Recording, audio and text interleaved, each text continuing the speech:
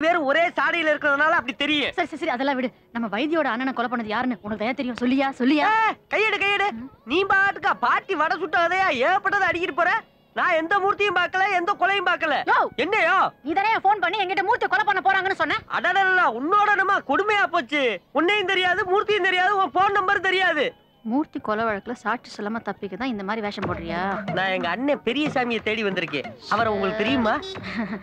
எனக்கு மாத்திரம் இல்லப்பா எல்லாருக்குமே தெரியும் அக்கா நல்லா இருப்பிய இப்ப அவர் எங்க இருக்காரு சொல்லுங்க சொல்றேன் சொல்றேன் நான் மாத்திரம் சொன்னா நல்லா இருக்காது ஊரே சேர்ந்து சொன்னதானே நல்லா இருக்கும்